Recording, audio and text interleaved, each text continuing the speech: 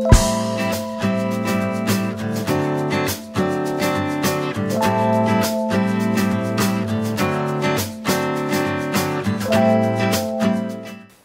yes, I'm Chamit, and uh, Lakmal and both uh, Amila both uh, described in detail about uh, the best practices of operations and the availability aspects and uh, what to do and what not to do and kind of stuff. So I'll be talking about uh, more uh, disciplinary aspects of automation and orchestration and try to focus more on uh, continuous integration and continuous delivery. So uh, before moving into uh, the next slide, uh, do we have any folks who are directly involved with operations here? Any DevOps persons or any sysadmins or any type of operations guys? OK. So the best way to know, note them is uh, they are the ones who are in jeans and with open shoelaces. And some people say they make weird noises, but that's a myth. It's not proven yet. So uh, today's agenda is uh, I will give the definition of automation and orchestration. And uh, we will talk about uh, the benefits you can gain from end-to-end -end automation.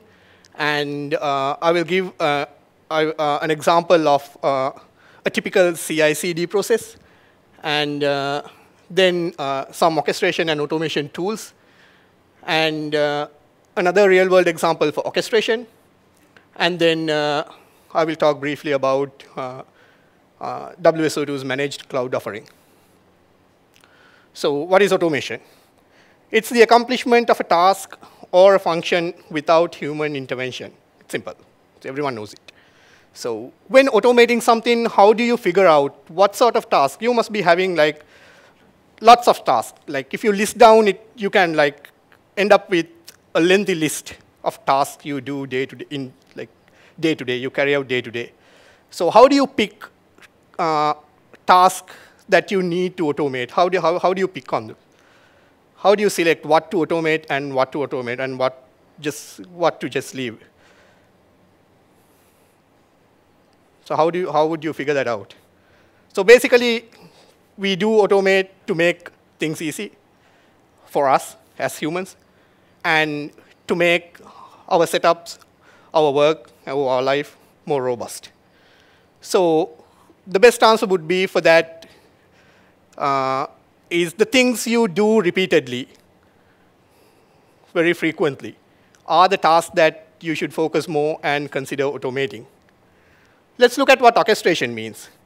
Orchestration means arranging and coordination of automated tasks. So you cannot have uh, orchestration uh, without automation. So those two goes together.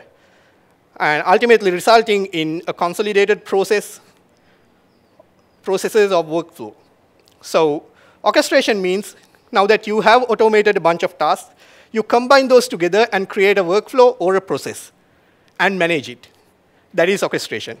That is what happens in a real orchestra. So the person who orchestrates, he knows uh, what each and every component do, the, the duty and the role of each and every component, and he simply controls the orchestra.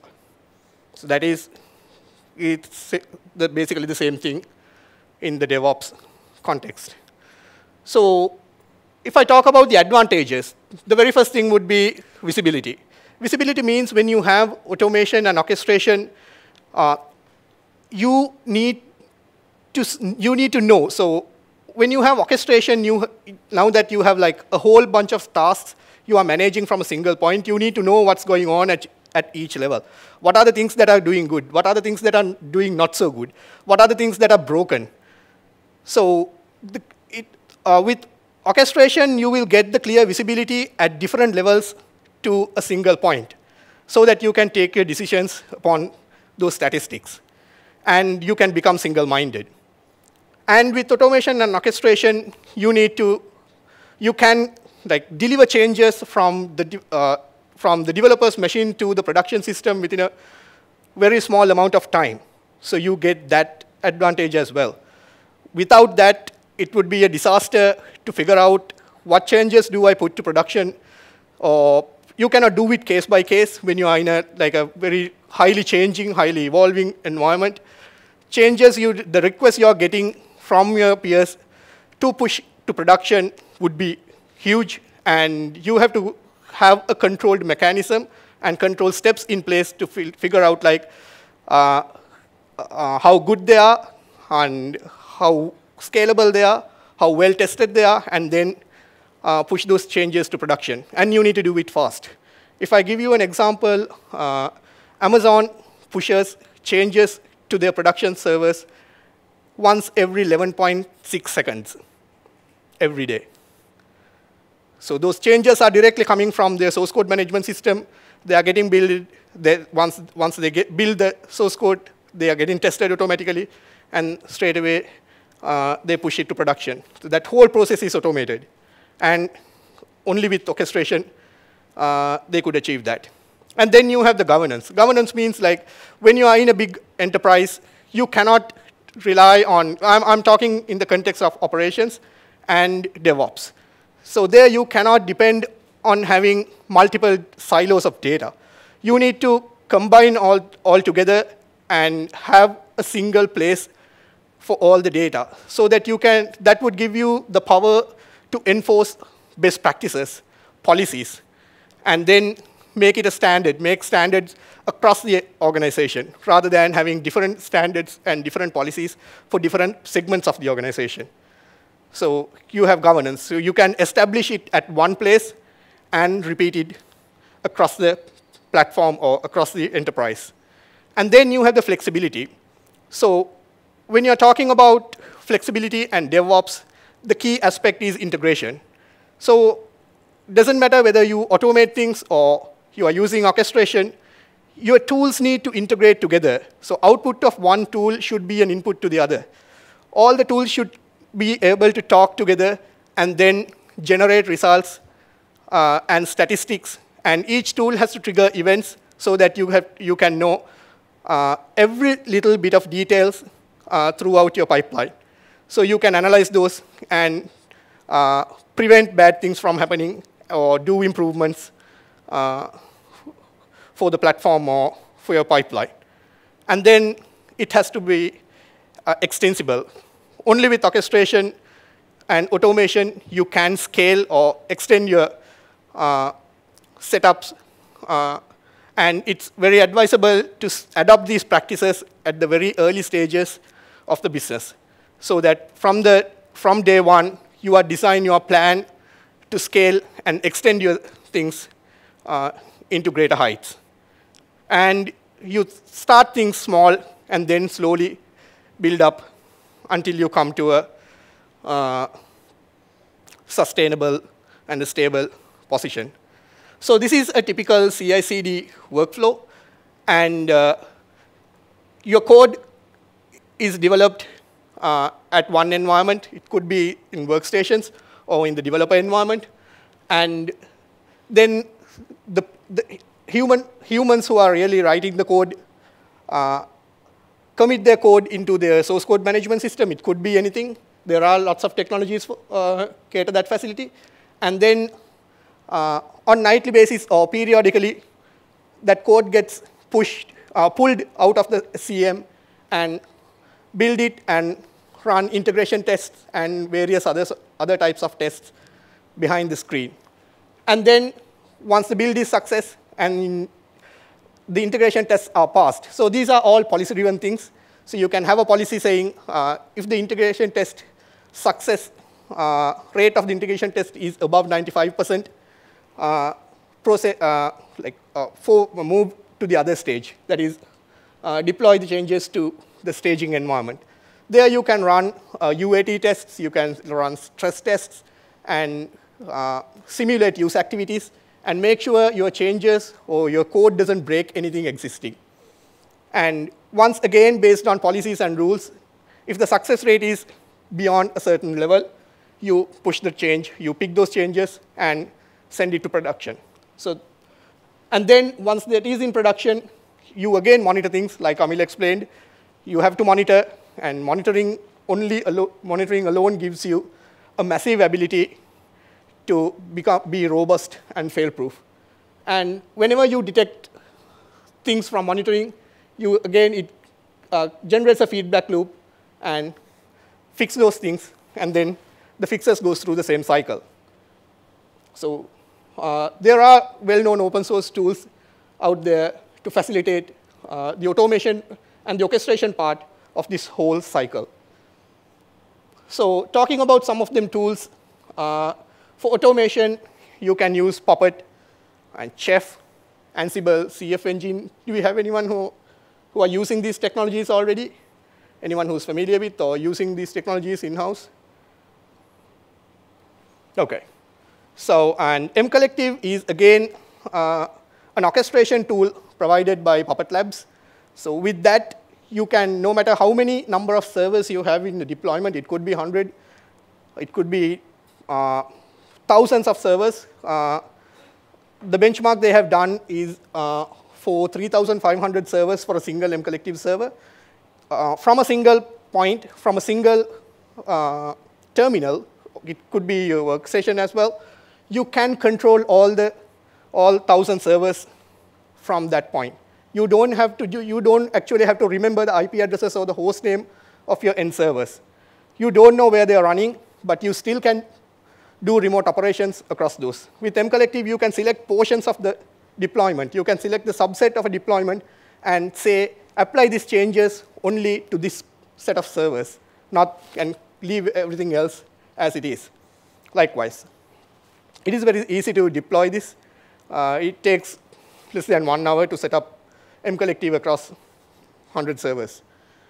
Um, that is only if you have automation. And again, uh, if you are using AWS, uh, CloudFormation, and OpsWork, those two works together. OpsWork is, again, Chef-based uh, automation framework that AWS provides, and CloudFormation is the infrastructure orchestration platform. And again, if you're a Python geek, you can use Salt from SaltStack. So uh, WSO2 is uh, using Puppet internally for all automation work. And we have created Puppet modules for all WSO2, uh, for all WSO2 servers. And uh, those modules are available at this location. So you can download the product from the website and get the Puppet module, uh, uh, put them together, and deploy that within a fraction of a second in any uh, Linux-based environment you have. So, uh, and those Puppet modules are production-ready modules. The data and the logic is uh, separated out, and the data is abstracted to uh, Hiera. If you know Hiera, that's, uh, that's the tool that Puppet Labs uh, provides to create hierarchical data structures. And using that, you can use the same Puppet modules with different data in multiple environments. So you still have the same logic, so same deployment logic, same automation logic, but based on the data you are providing in Hiera, that gets act differently. That is what Amil explained. The same product has different profiles and different roles in the same deployment. So that is also provided along with these modules.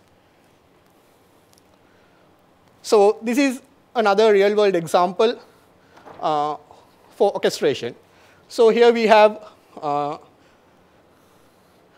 here we have the users, and uh, this is a classical uh, scenario of uh, some people, some developers in an organization, they uh, write code in a cloud-based IDE. They commit their code into a source code management system. So here, I, these, these tools are just examples to explain the story. And uh, Eclipse Che is the cloud IDE. And from there, you commit your code to either a SVN server or a Git server. And then there are build servers that are taking this change. Those could be Jenkins or Bamboo or anything. And then once you are, you are uh, build, once the build is successful, you then deploy your changes into any PaaS out there. It could be Kubernetes or OpenStack or Apache Stratos, AWS, it could be anything. You just deploy your servers, uh, deploy your artifact, build artifact into any of those environments. And you use Redmine or Atlassian Jira uh, for issue tracking. And then, again, it comes to the users and the development. Uh, and the tool, so these, are, these tools can perform uh, alone by themselves, but uh, the orchestrator is the person who's sitting in the middle and do all, like combine all these tools together and create the story for the end user. So users come to the orchestrator, and the orchestrator, they come to the orchestrator and say, I want to write code. And then the orchestrator forwards them to the Che. And once the code is written, they come back to the orchestrator, and the orchestrator then knows that the user is done with writing code, and it commits the code into uh, the source code management system. And then, based on, again, uh, some given policies, the orchestrator can trigger builds, and then the orchestrator can, again, deploy changes. So the key aspect here is the monitoring. So every opera operation that orchestrator does, it knows the statistics about it, whether this particular operation ran successfully or not, or if it breaks on the halfway, where it got broken, what happened to it, and gives feedback continuously to the user. Sorry. And when the build is successful, only the orchestrator pushes the changes to the desired environment. And then the orchestrator, again, takes care of the issue tracking system also. There are some, the, the, the orchestrator picks only the changes from resolved tickets and then uh, take it through the cycle, likewise. So uh, if you go to uh, WSO2's uh, public cloud, in the app cloud, we have the whole, we have this whole story created there. And you can actually create an account, become a user of the WSO2 cloud, uh, write your code in the cloud-based IDE, and uh, uh, we use Git as the SCM, and we use Jenkins as the build server, and we use Apache Stratos right now uh, to uh, deploy your changes or deploy your code, and we use Redmine uh, as the issue tracking system, and it is again provided with the setup.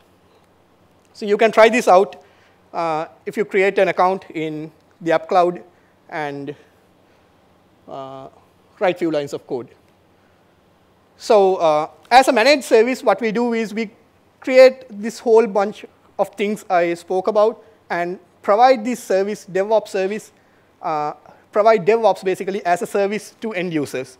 So there what we do is uh, when people, when we come up with a solution, this, when, when the solution architects come up with a solution together with the client's requirements, we take that solution, we do the deployment, excuse me, and we do the deployment and we manage it. We make sure that we push latest changes to the cloud and update your setup uh, continuously, and we make sure that the changes goes through the development and testing and staging and production lifecycle, and we make sure that your production setups are properly monitored and uh, regular backups are taken, and uh, disaster recovery drills are performed, we cover the whole story for you. So that is what we do with this managed cloud. And finally, uh, the SLA guarantee for uptime, for availability is four nines, 99.99 guarantee.